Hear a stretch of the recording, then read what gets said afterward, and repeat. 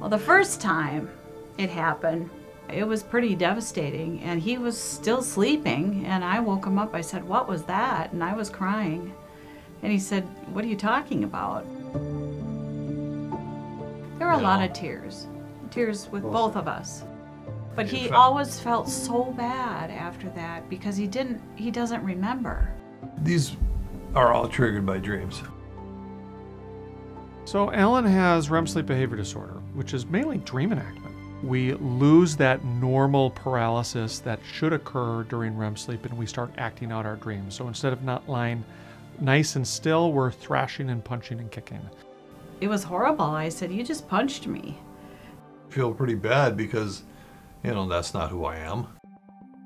This is common. This is 50,000 people in the state of Minnesota. 80 million people worldwide have REM sleep behavior disorder. It was discovered by University of Minnesota physicians back in the 1980s, and so we've been studying this condition for a very long period of time. It is extremely distressing for patients and partners that they've been sleeping next to calmly for decades, and now all of a sudden they're thrashing, punching, and kicking, and it can be terrifying to patients and bed partners alike. As time went on, I couldn't sleep with him. I was too scared. So I had to, I, I got a separate bed. It was tough, but it also pushes you to try to get help too.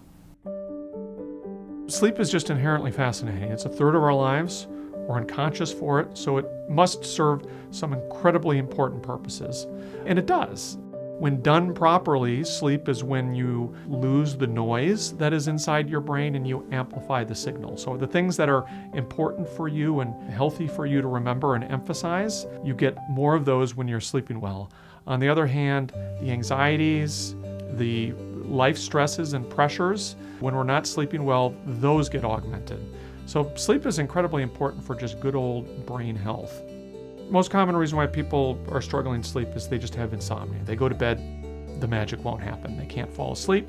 Other individuals have sleep disorder breathing or sleep apnea where they can't breathe properly at night. Other individuals, like Alan, will have some bizarre behavior happening at night sleepwalking, dream enactment behaviors.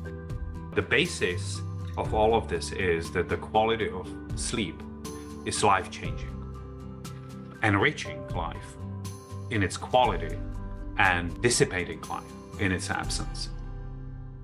We saw Alan at the M Health Fairview Sleep Center in Edina, and we talked about Alan's trouble with dream enactment.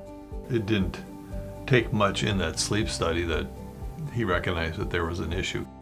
It can be a very serious condition, but it is a identifiable and treatable condition. 90% of people with REM sleep behavior disorder do extremely well with therapies. I don't want to take any medication at all, you know, so I never really wanted to do it. But then we talked and he, he worked me through it and I started taking some medication and it, and and the idea how it works, I finally did do it and it was good that I did. We have a couple funny incidents where he was, he dreams. We, we need to lighten it up a little bit, you think? Yeah, just a couple.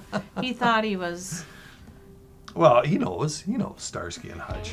That's what I did. I was dreaming that that was me, I was in bed with him too. and I was I was I was running. I was to slide across the hood, you know. But really, I ended up jumping out of bed on the floor, and hardwood floors we have.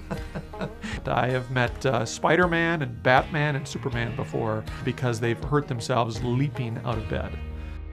We're just thankful that Dr. Howell was here.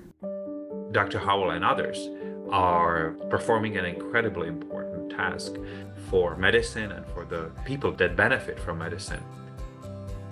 I do think that I get better sleep, and I do think that my life is better from when that all began.